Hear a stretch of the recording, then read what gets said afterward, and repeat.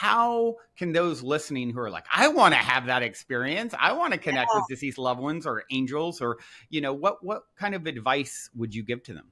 Well, this is the best part. Let's go back a little bit. Is I taught the Dyers how to do it. Now they don't need me anymore, and I feel wonderful about that because they're doing mm. it themselves. And wow. this is what I tell the audience too: is the number one thing. There's maybe a few things we could go over. One, we're expecting to hear a voice mm-hmm. or to see an apparition, as I said before, but they speak to us telepathically Yeah.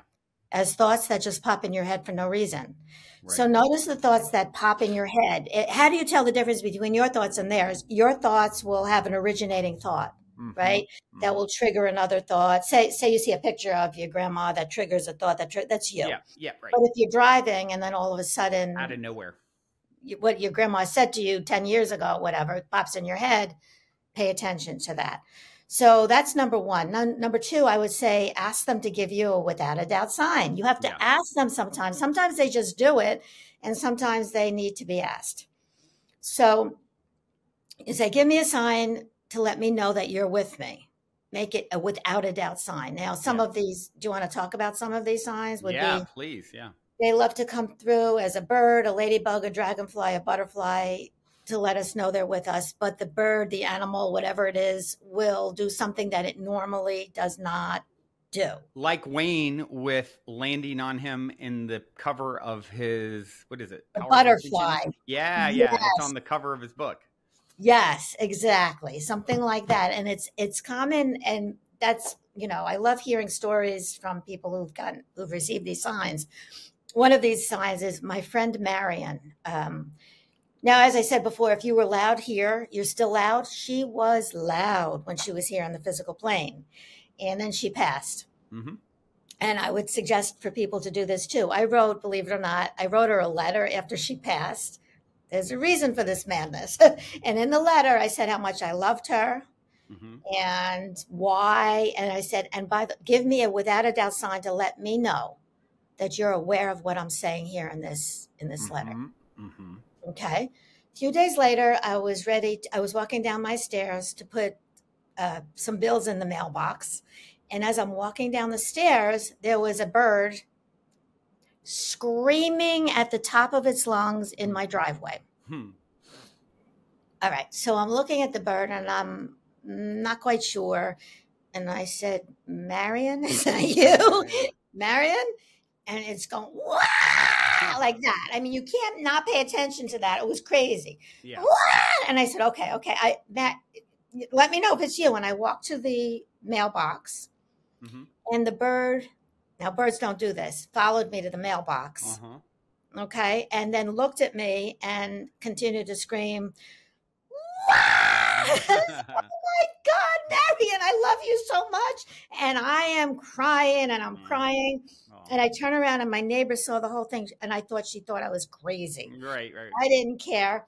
I had my cell phone in my pocket and I told my son to come outside because Marion was there. Mm. I said, mm. Tim, come outside. Marion's here. And he said, huh?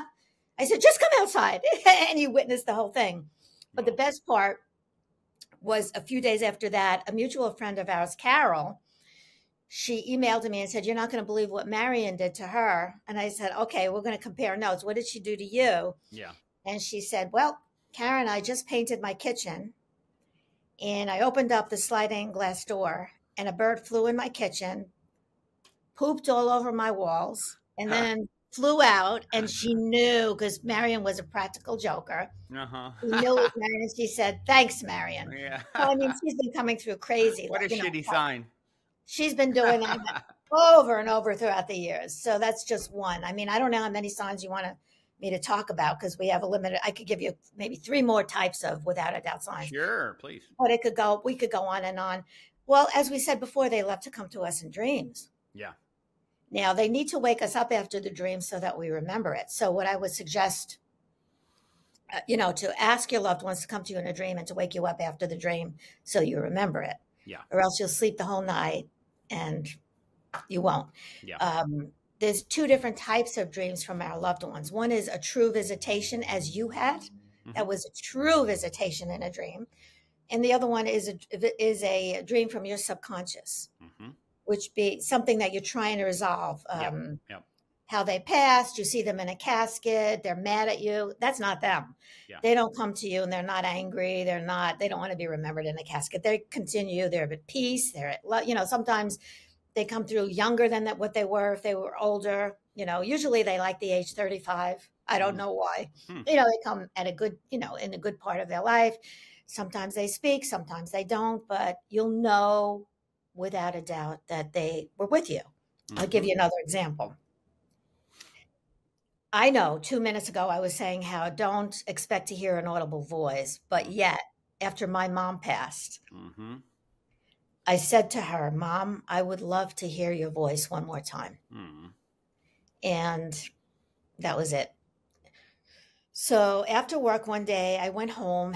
I was exhausted and I took a nap and I had a dream, Mhm. quote unquote, which was a true visitation without a doubt. And in the dream, I walked into a crowded room and my mother's voice came over the loudspeaker and she said, I have an important announcement.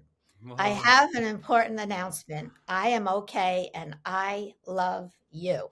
Oh. And I said, Mom, I love you so much. I said, Who are you with? And she said something that I didn't recognize. So I said, Could you say it again? So I would tell our listeners if you don't understand what they're saying, say, say it again. Mhm. Mhm. and she said, Nanny, who is her mom. Mm. And with that, the phone rang, woke me up. I was able to remember the dream and I felt like I won the lottery. Wow. You know, I just, it was the most incredible experience. I knew without a doubt it was her. Wow. No question about it. You knew, right? Yeah. Without a doubt, it was, you know, without a doubt. Yeah. So all we need to do is to ask them to come and then be patient and wait, and they'll Yeah. come when you least expect it. Right. Right? Right. Wow.